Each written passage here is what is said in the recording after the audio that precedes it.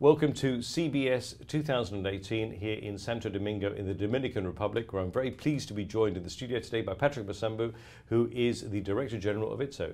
Patrick, thank you very much indeed for joining us in the studio today. You're welcome. Now, we're here at CBS 2018. It's the Global ICT Capacity Building Symposium here, uh, here in Santo Domingo. It's uh, basically every couple of years in, in, the ITU's calendar. Why, why is this event uh, important in your calendar? Why have you taken the time to be here all the way from Washington? Well, thank you for that question, Max. But um, I think one thing which is very unique about this um, symposium is the kind of reach that it has. And uh, ITSO being an intergovernmental organization, just like ITU, with the membership of 149 countries, we take particular interest in global events because that brings together a lot of community of interest in terms of capacity building. We have had a partnership with ITU for the last uh, eight years in which we focus on trying to do a number of things together. And for us, one of the things that we are mainly concerned about is the fact that satellite communications is unique in the various ways. One of the things that is unique about is the fact that it has such a major impact or should have a major impact on ICT for development. Because if you look at the population size or the number of com communities or countries that require ICTs and do not have connectivity today, the one easiest way of being able to reach them is through a global arrangement, like through satellite communications. And so when we talk to capacity building within entities that need to do that, I think partnership with the ITU makes a lot of sense.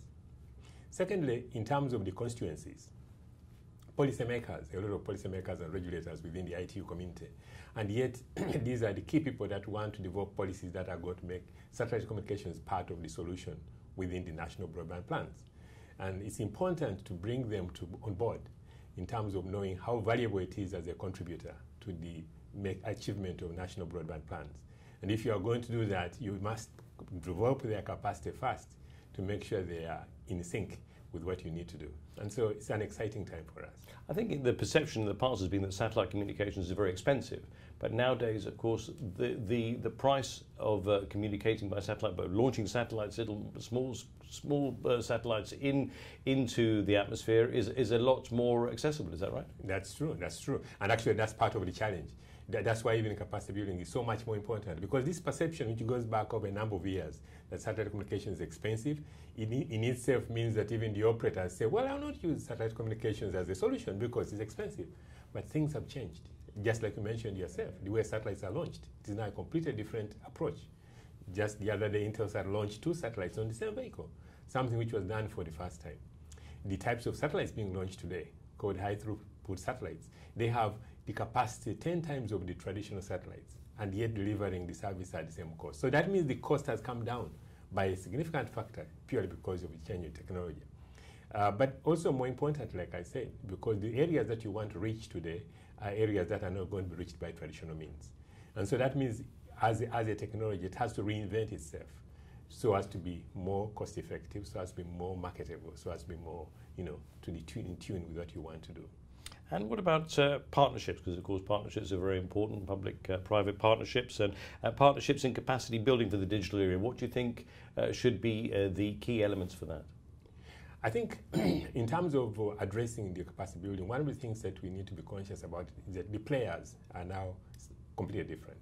Um, you take in the applications that are going to be delivered or which are being delivered the, what would be a traditional consumer today is just as much a player as the person who is offering the services. The fact that you have handed over the sort of control to the application developers as opposed to the people that put up the networks means that your capacity building is a broader scope. It's not just going to talk to people who are engineers. It's going to talk about the users. It's going to talk about so many intermediary participants. And so I think the challenges are different. And yet at the same time, what you can do with ICTs moving into digital era is such is a big scope in itself that focusing on that alone is a challenge. So yes, it is different times. What about the conversations that you've been hearing here at the symposium? What do you think are going to be the key takeaways here? Well, um, there, are, there, are, a number of things, but one, one thing which interested me was the fact that, uh, and this was in one of the sessions yesterday, about the need for continuous development, continuous learning. Uh, the fact that today you cannot simply sit back and say, because I went to school 20 years ago, I have all that I, I need. That in itself, I think, is a very interesting issue because suddenly the constituencies that you have to focus on, whose capacities you need to develop, is so huge that you need a lot of, you know, you have to look out, of, think out of the box as to how you are going to be able to achieve that. And the methods of delivery, of course, have changed. They have changed and they will continue to change. Um, again, just the scope of it alone challenges that. So it means that the people who are themselves being the deliverers of the program, they have to be capacity trained themselves. And so the players who are going to be in the field to do that also will be more. Um, so there are many, many things to be looked at. Yes. Well, Patrick Masambu, thank you very much for joining us in the studio, and uh, very much uh, we hope to catch up with you again sometime in the future. Sure. And thank you for the opportunity. Thank you. Take care.